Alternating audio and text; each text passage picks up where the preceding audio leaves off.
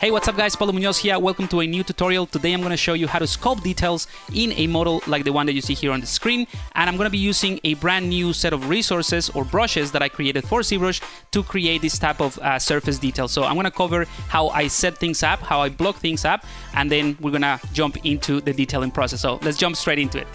All right, so let's go ahead and jump straight into this time lapse where I'm going to show you how to block in the head of the character um, that we're going to detail later on. So I usually start with primitives, and in this case with just a sphere, and I like to start with the eyes. That gives me kind of like a, an anchor point for, um, you know, place the rest of the things on this creature. So again, just with like simple spheres, I use a measure constantly to keep a clean surface it doesn't have to be the final surface at all or the final mesh. It's just something that I use to, or, or like a tool that I use in ZBrush to keep things clean and being able to subdivide it later on. So again, you can use normal primitives like uh, spheres, or you can use insert brushes that comes with, with spheres or other type of uh, objects to block things out. Uh, but I think the key when it comes to a project like this, uh, especially with insects that, you know, it sort of like has different different panels and, and moving pieces is to keep everything simple with lots of different subtools. So um, for every new section of the head I will create a new subtool. And also you can use things like deformers from the Gizmo 3D like in the case of the jaws of this creature uh, to again deform things slightly just to give you an idea of where to place the details later on. And further sculpt the, head. So yeah, I, I use a bunch of different tools, but the idea is to keep every bit separate. So on that note, if you use something like the curved tube brushes that I use uh, here around the, the eye area as well, uh, you can just draw that and then split it so that it becomes its own subtool. And if you work on one side, the easiest thing would be to just uh, mirror and weld it. Uh, but again, just to, to reiterate, the idea is to keep everything in separate subtools so that it makes it a lot easier to work with the different areas uh, once we get to the, to the detailing process. Once you have placed the, the main shapes, again, without too much sculpting, I personally like to go with the Move Topological or the Move Brush and the AccuCurve Enable that's the tool that creates that very pointy or spiky way of moving things around. And that way you can create more feature pieces and kind of like integrate all those panels or all those extra subtools together. So yeah, there's not much to it. It's really just go over all the basic block out that you created with um, you know primitives or, or curved tube brushes and things like that. And with the move brush and the smooth brush as well, just literally push things around so that it feels more integrated.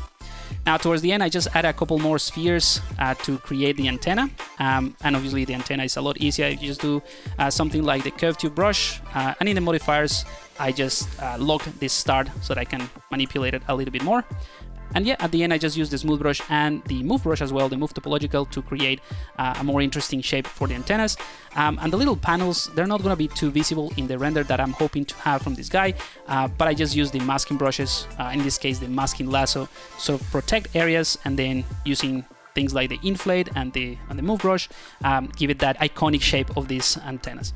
But that's about it. This is the blocking and this is what you can also get in the resources of this tutorial. If you're watching this on YouTube, make sure that you go to the link in the description to the ZBrush Guides website where you can download it um, as an FBX file and you can import it and yeah, you can just follow along with the next part of the tutorial that covers the detailing and the showcase of the insect brushes. All right, and here we are inside ZBrush, and this is where we left off based on that time lapse where I covered how to basically set up this uh, this creature. So again, this is just a made up insect. I just have a bunch of references on my screen. Let me just bring them so you can see. I'm gonna put a link as well to a Pinterest board that I have called Insects, where you can you know grab pretty much all of these ones as well. I use a bunch of different references to to create this, which is a made up insect. So it has a bit of a wasp head and these claws from uh, maybe like an ant, a grasshopper eyes, I guess. But we're ready to start sculpting and adding details to it.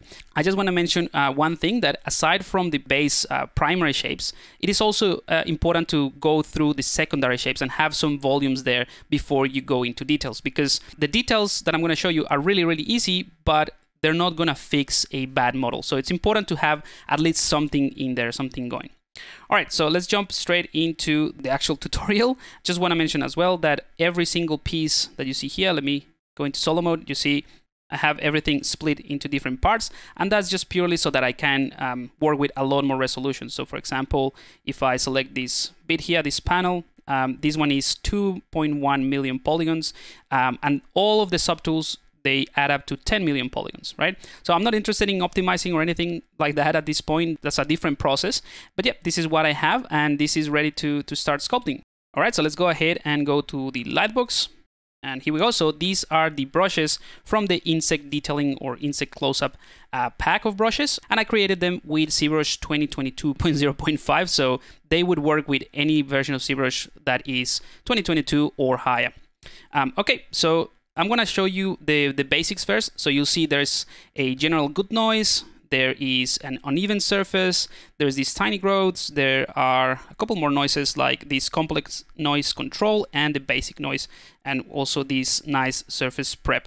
So basically, these brushes that I just mentioned are noise uh, brushes, uh, but they're really, really cool because they allow you to break the surface a little bit before you add any of the stronger details that you have in the other brushes. So I'm, I'm going to start with a nice surface prep and I'm just going to get closer here.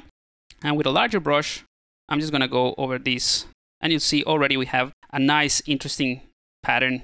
Uh, and again, this is just a way of preparing the surface. I'm also adding a bit of extra pressure just so that you can see the effect. But obviously you can uh, fine tune how much of the effect is visible by just pressing harder or, or softer.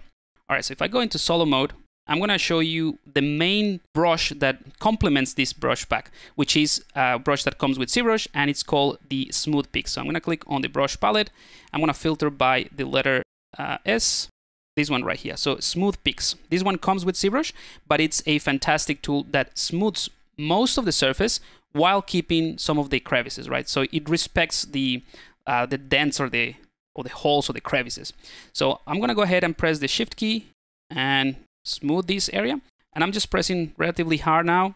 As soon as we start smoothing after using this noise brush, we get all these nice you know, surface that we can start adding more details on top of it. So let me undo that because I just used the default settings of the smooth peaks and I just want to show you a very simple thing that you can do so you have more control over how you smooth the details.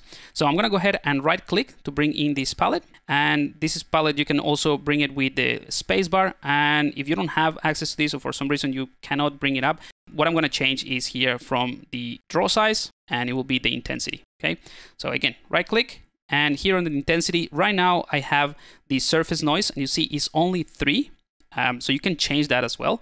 But what I'm gonna do is while I hold the shift key, I can access that smooth peaks, right? So again, right click, hold shift and take the intensity down to something like 55 is fine. So that way you have more control with the tablet just to, um, to add pressure. So let me just go through this really quickly and soften this up. All right, so that's pretty good we have something going already. Let's go ahead and bring in another noise. I'm just gonna show you different noises. I'm not gonna look for a particular design just yet. I just wanna show you the, the brushes. Select this guy here, this part. And again, I'm just gonna press, and this one gives me all these sort of extra uh, wiggly lines. Let's go into solo mode. And obviously, the, the harder that I press, if I press really hard, those bumps are gonna be more visible. Let's undo that. So this is something that I would use, let's say, in this sort of um, bumps or these protrusions in here, just to make them a little bit larger, and that way uh, we can differentiate it with the rest of the noise. Because, like I said, adding noise and adding details, especially with these brushes, is something that is very, very easy and that also can become like a, a double-edged sword because you end up with areas that are really really noisy or really really detailed and then you don't have a, a good balance between the forms. So just pay attention to that. So that's why every time that i add something or a new set of details i go with these smooth peaks brushes and smooth things out as well so you see in just a few seconds we have uh, these two pieces that are uh, relatively detailed or at least we have the surface noise going before we go with more interesting details to create like the feature pieces. Let's go ahead and bring in another noise. So I'm gonna go with this uneven surface. This one is not necessarily a noise because as far as noise brushes go, this one is pretty generic, right? So if I do something like this, this is like, you know, pretty boring. It's just a, a, normal noise. So the way that this one was intended to work is with very large brushes, and that's what is called the uneven surface. So if I make this a large brush, let's go here, and then just apply it. Just, I don't know if you saw that, but let me undo that. With a large brush again, I'm just gonna press like so. This is really, really hard, but you see how it breaks the surface a little bit. So I'm gonna press softly, and this is something that could go after you add the noise, right? And it just makes it a little bit more um, organic and natural. Can do the same thing here and then go again with a smooth brush. Right, so I can do the same thing in an area like this and then go ahead and smooth that out. I'm pressing a lot harder now. So you have um, you have a, a good variety of noises that uh, obviously will change depending on how you use them, um, how hard you apply them, or how big the brush is. But there's a good range. Um, there is this basic noise. This is very similar to the one that I just showed you. The difference is that it's not as strong, um, so it doesn't deform the surface as much. So this one is a cool one. Maybe not for this part. Maybe let's go ahead here, here at the back. This is a, a good general noise, um, and it has a, a slight pattern. Let me just do it a bit harder so you can see it. It has this pattern that I found it to be useful for this type of insect surfaces uh, that once you use it in combination with the smooth peaks, like I said, it looks pretty cool. So I think we might actually go back because we need more resolution. So I'm going to subdivide these one more time. So this piece now has 3 million polygons. There you go. So something like this, but then pay attention to what's going to happen with the surface once I add these smooth peaks. That pattern is going to uh, be less evident, and we're going to end up with those really nice tiny bumps around here uh, for free because uh, this is just the result of smoothing the peaks, as the brush name says. We're smoothing the surface that are kind of like higher, and then the brush is respecting those dimples or those areas. but yeah, you can see you can do it like really, really strong, and then we will start to get even you know cleaner surface with these details. But I'm gonna go back to this just in a second because I'm gonna add more noise or more details, and then we'll still um, need to smooth that out. But anyway, you have lots of different noise brushes there. Now let me just show you a few more that are more featured or create more featured details. So this one is one of my favorite. It's called the Crater Dimples. And that's, you know, it's a, it creates this very cool pattern that you can probably use in some areas like this. I'm just gonna go ahead, maybe with a smaller brush size actually, and do this. And obviously, the harder that you press, the more craters that you'll find or the stronger the effect. But you can just press softly and then create smaller dimples like that you have the ability to also direct the flow of the details. So I'm just going to create some smaller surface noise like this, maybe around this area. Again, I'm just making this up. I'll probably go back and, and do it a little bit more thoroughly than this, but I just want to give you a sense of where and, and how to use these brushes. Okay, so that's pretty cool.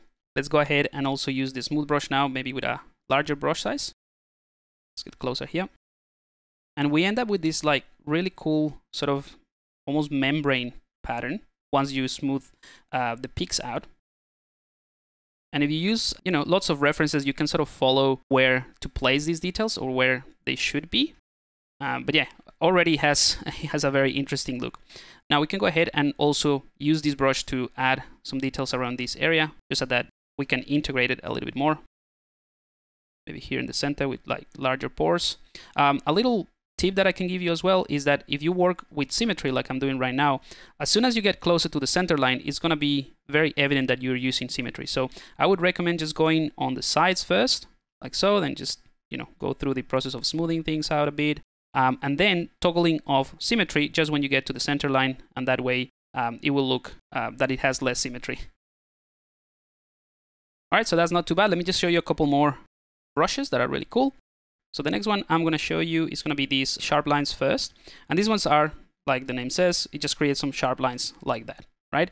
But you have the ability to sort of like direct those, um, those lines. So it's going to start with these areas right here. Again, I'm using uh, a few references on my other monitor to kind of like see where these ones are usually placed.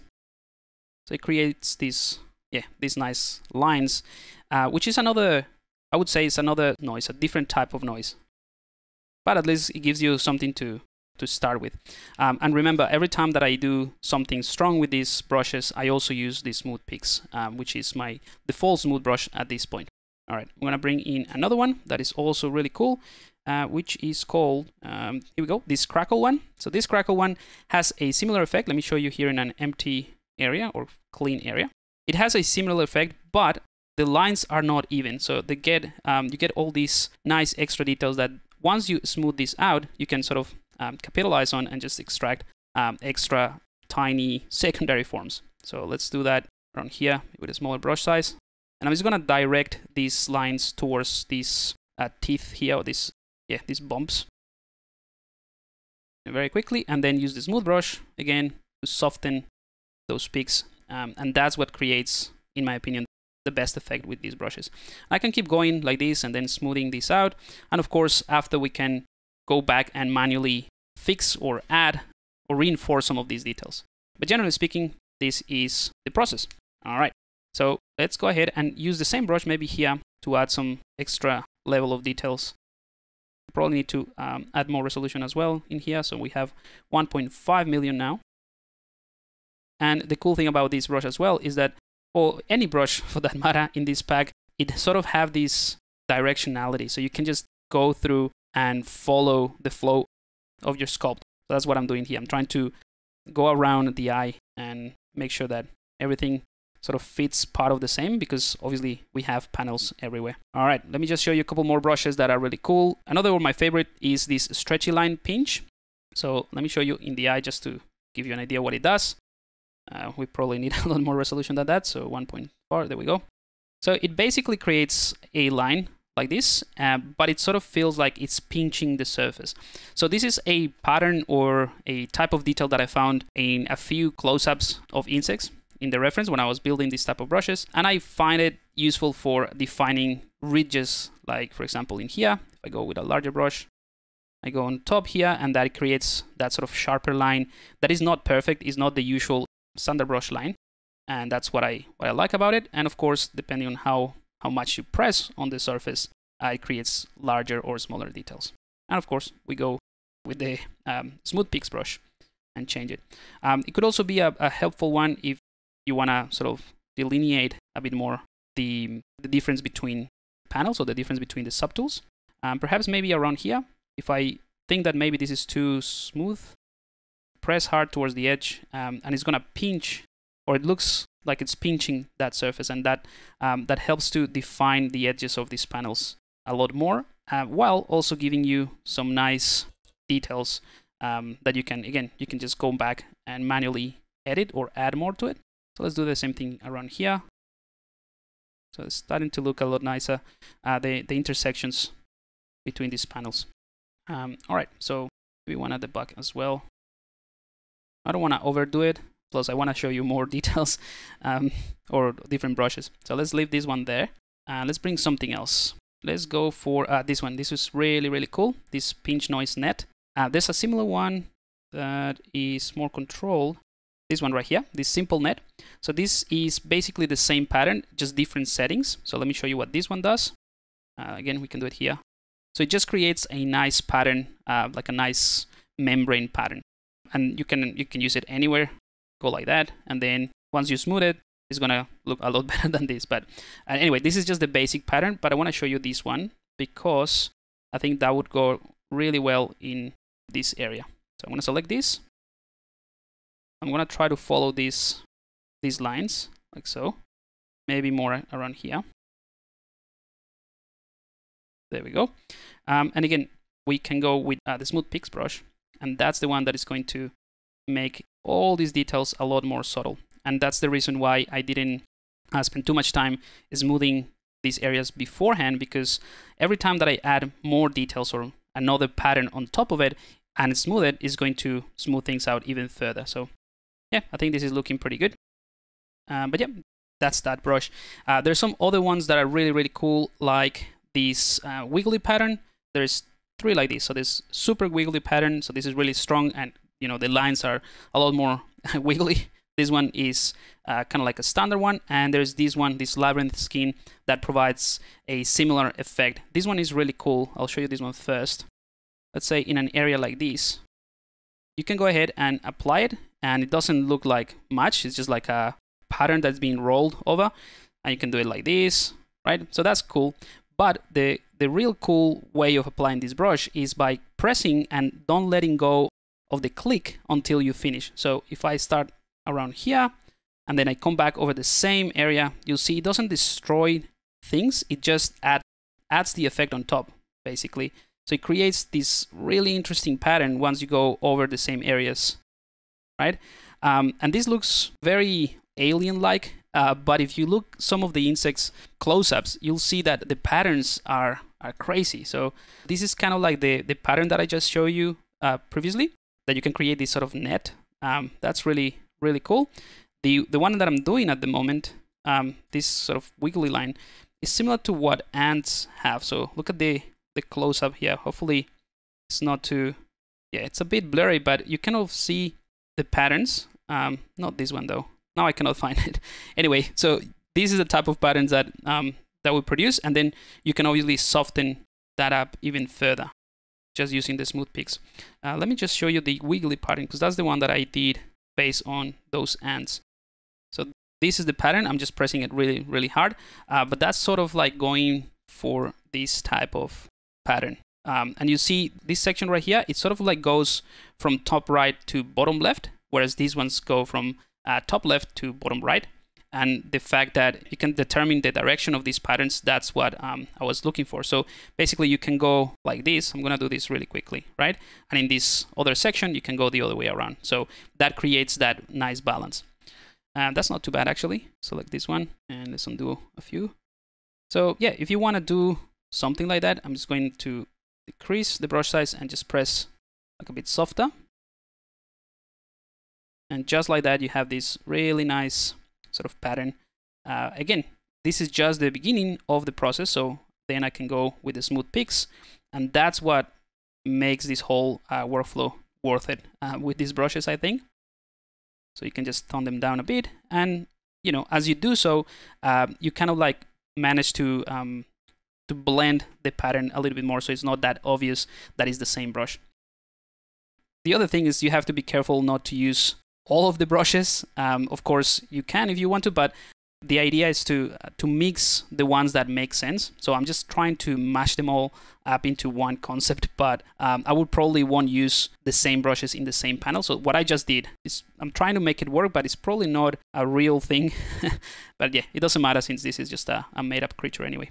So yeah, those are the, the nice uh, patterns. Uh, there are other ones as well, like these textured wide lines, these textured sharp lines.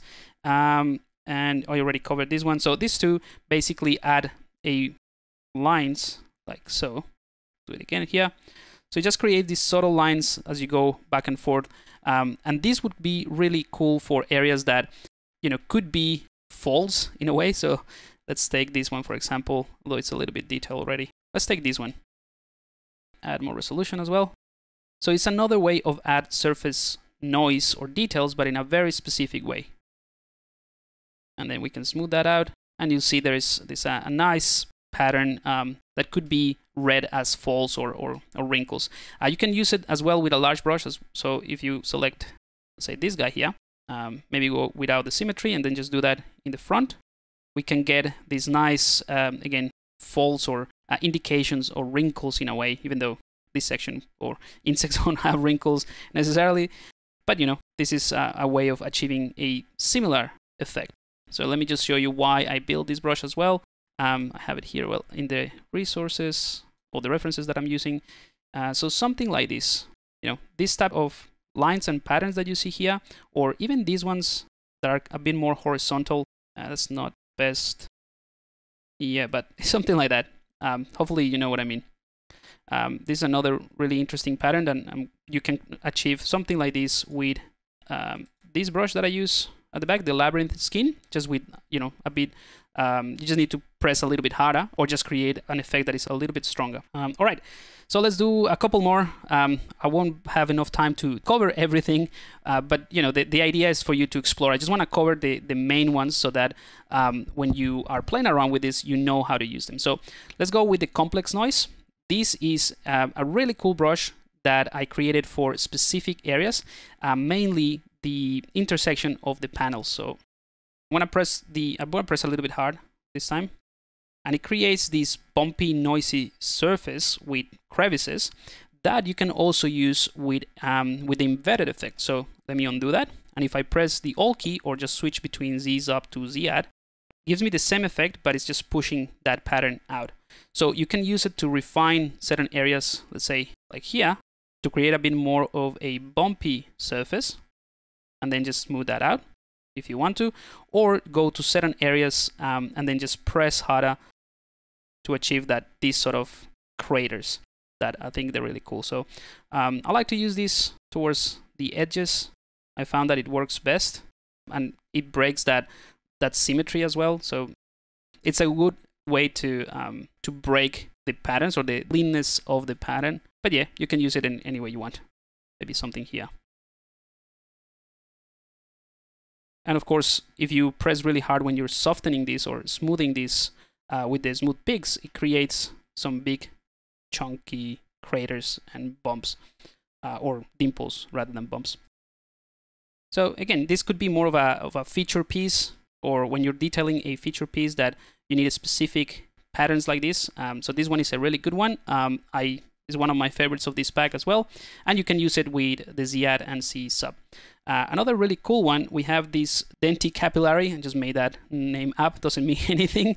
Um, and we also have this one right here, the thick bumpy pore. So these ones are using a very similar um, set of alphas to drive the effect but this one gives you a more surface noise and more details to to explore this one is a little bit cleaner so if i click on that one um, let me just show you this one will be the equivalent of creating dimples like these ones here or um, the ones that have like this fur or this hair coming out of it that are a little bit more bumpy. Like these ones right here that they have like this this hair coming out of it. Um, this one right here is the, the pattern that I was trying to mention earlier, the false. Going back to what I was saying, so these ones uh, would be really cool, let's say in this area, if I select this and then just press harder to create these pores in this fashion, and then I can add uh, maybe some, you know, fiber mesh or, or literally just sculpt or add some lines for the hair coming out of these regions, right? Um, obviously, you can use it anywhere. Let's enable symmetry, right? And then once you apply this with a bit of smooth brush works really well. That's another really, really cool brush. Uh, I would say one of the essential of this pack. Um, and the same way you can use the thick bumpy pores, maybe in an area like this, just to, to show you. Um, it has the same effect, but maybe let's do it in this surface. It gives you a cleaner set of bumps that follow an area. It kind of like works uh, well in combination with the previous one, where you don't want to have like these massive holes. You see, you can use both and then this one um, will add the massive pores, whereas the other one just gives you a suggestion of them. So undo all of that, and then let's go ahead and use that bumpy pores in here so that we can add a bit more surface noise. Uh, but yeah, that's how easily you can add details to your insect models. I don't know how many of you are interested in doing insects. I know sometimes I build these uh, brushes packs and they're too specific, but that's the reason why I create these, these brushes pack. I need them at some point in a project and then I just make them available and I think um, you guys can do really cool stuff with them. All right, so just to cover a couple more and to wrap it up, I have this uh, subtle camo, like a, as in camouflage. Um, so if I use that here, it basically creates this pattern that you can go over. You can apply it in a similar way as the uh, labyrinth skin. So you can go over the same area multiple times and then just smooth everything out. And it creates a very, very cool pattern once it's smooth out. And you see a very simple, very easy way of creating something interesting. And you can obviously go back and tweak it manually. Um, all right, maybe we can add a bit of that pattern here. Again, uh, I want to reiterate the fact that I'm overdoing the amount of details just because I want to uh, showcase most of the brushes. So I will be a little bit more thorough if this was something that um you know that I want to work on and put in my portfolio or something like that. So you shouldn't have details like this everywhere. Or if you're following a reference that has to have those details there uh, in order to resemble the reality of that uh, reference, uh, just pay attention on the balance because it's not the same size or it's not the same amount of details everywhere. Now, a couple more brushes just to wrap it up. Um, this hexagonal trimmer if you use it on a, on a surface like this, uh, it's boring. It just trims things with this hexagonal shape. Um, you can press the Alt key and invert it and create this sort of like extra pattern, but it's weird. So uh, I just want to mention that one because it's a brush that I would use once I have a bunch of details like this, right? So I would use it here to sort of like trim the area without pressing too hard and then smooth this out. So it has that hexagonal pattern, but the intention is not to create that hexagonal pattern at all. So if I'm polishing this for whatever reason, I'll just go with the polishing brush and it just flattens the, the surface a little bit and removes the details in a way. That's the intention of this brush. but it leaves this hexagonal pattern in there. And you can hold the shift key again, and then when you smooth it out, it's not gonna be completely flat. That was the, the original intention of this brush. Um, you know, it might take a while to, to get used to why it works that way, but don't expect it to uh, create that pattern for you and that's it, right? If you want to create a similar pattern though, um, you can use, um, this one is also very similar, but you can go over the same area. So if I want to create some kind of ice pattern as well like that, you can do that brush, or you can press the Alt key and create uh, sort of like an eye pattern with um, with more control. And when I say control, I mean that you can you know do it in any with any pressure you want and in any direction uh, and just yeah go over the same area a few times. So this one is really cool and it has those two functions. I left the the default one to be subtracting like this because i think it's a it's a good um, it's a good brush to combine with um, other patterns especially when you go over the same area like so and then smooth everything out. Just remember that everything in this pack was intended to work with a smooth peak brush um, that comes with ZBrush and that's why they, they look slightly different from the, the actual patterns that produce with the first go, if you will. Let's go back to a couple more. So I have these spiky edges. I'm just gonna show you that one. Uh, that basically does what the what the name says. It just creates these spiky edges, which could be really good for, let's say, if you're doing um, a an insect leg. Let's assume that this antenna is an insect leg. Let me go into solo mode, and I'm also gonna lock my camera so that I can do this easily. All right, so yeah, you can go with this and create these sort of ridges. Um, and of course, you can go back with a move brush and also pull things a bit more if you wanted to. That's actually not too bad for the antenna. I'm just gonna smooth this out a little bit. Um, but yeah, so hopefully that makes sense.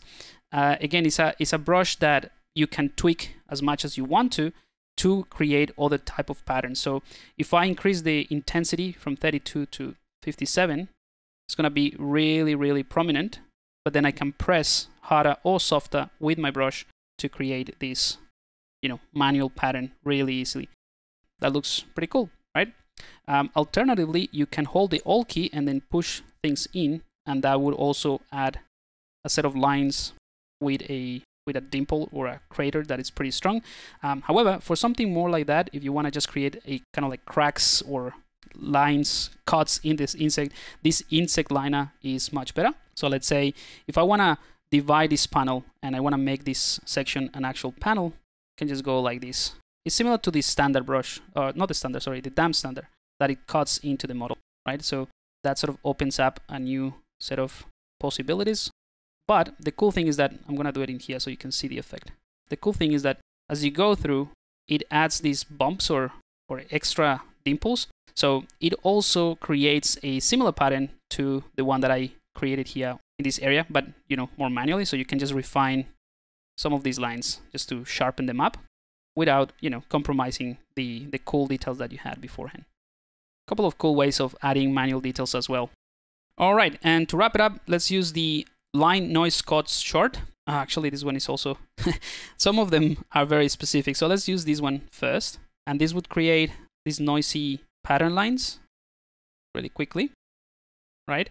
Uh, but those lines, when you use the, the smooth peaks brush, just to clean it up a little bit, it will look like some stretched pores as well, or uh, the equivalent of pores. I know those are not necessarily pores in the insects, but you know what I mean.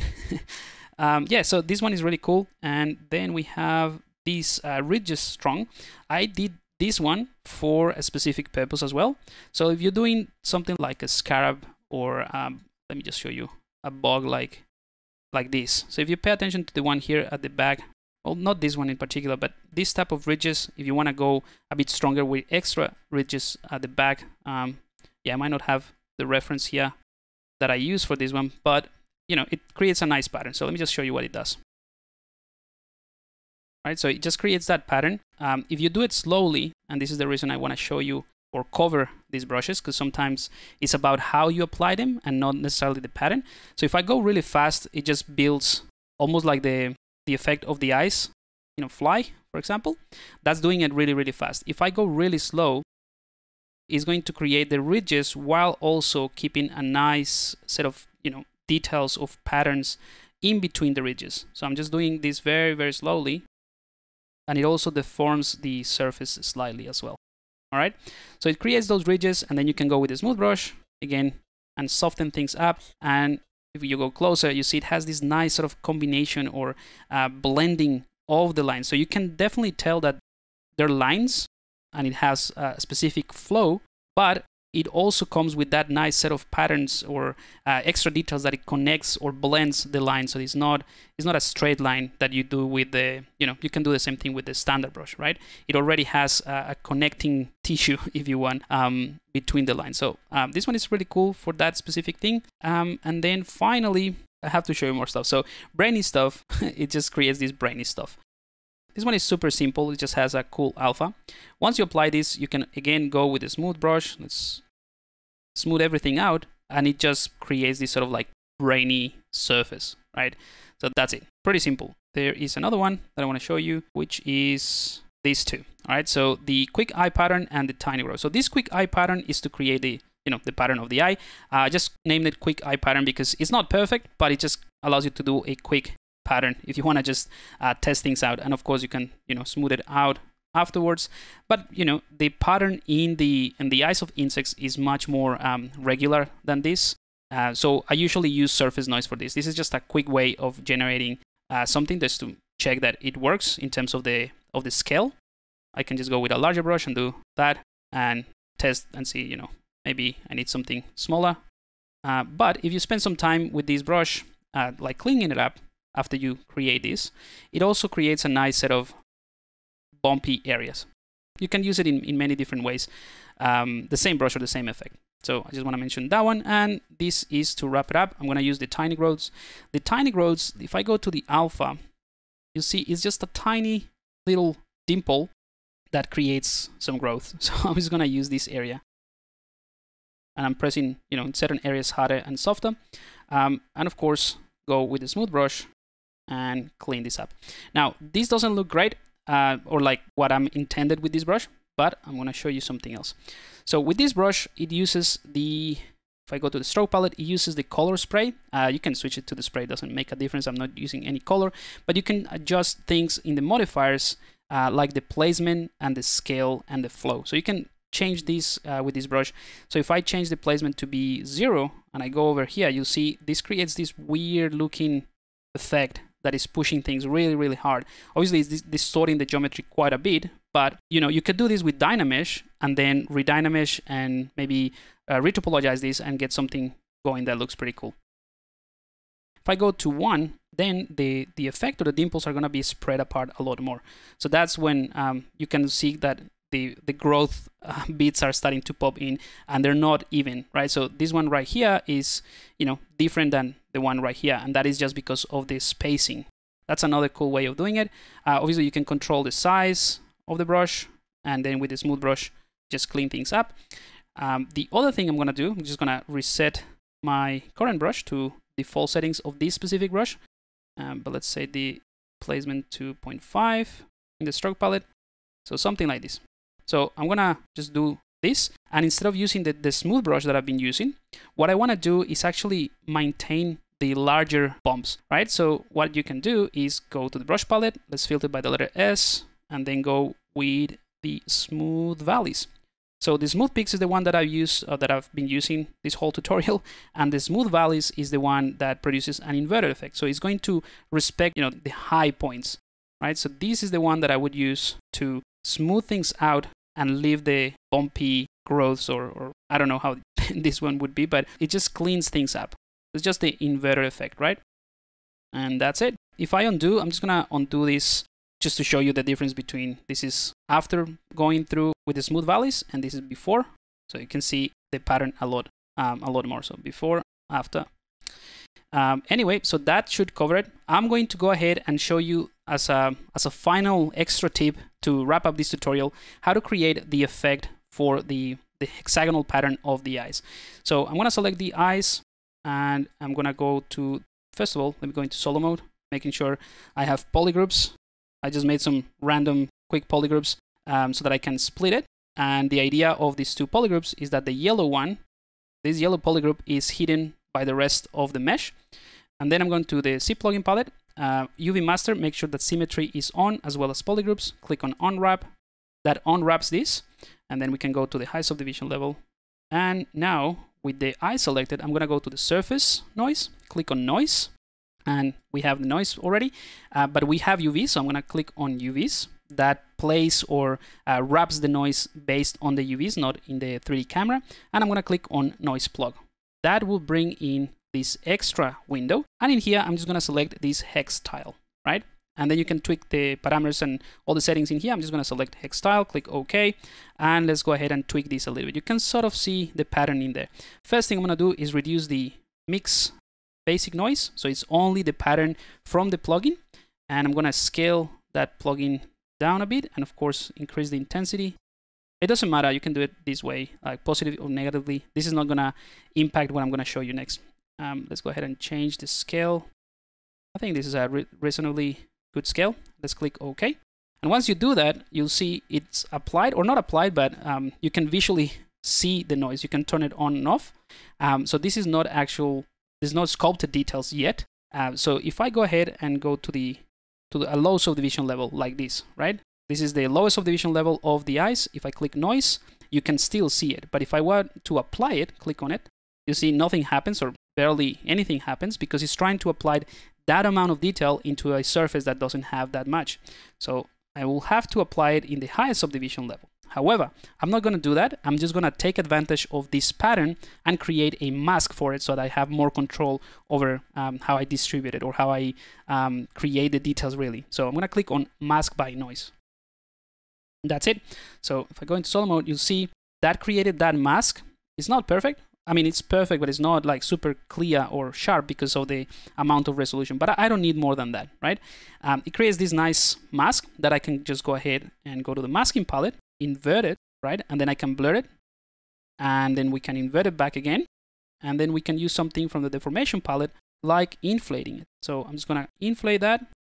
So zero is going to inflate that surface, but is going to keep, uh, hang on, let me just do it again. That's an important concept to get right.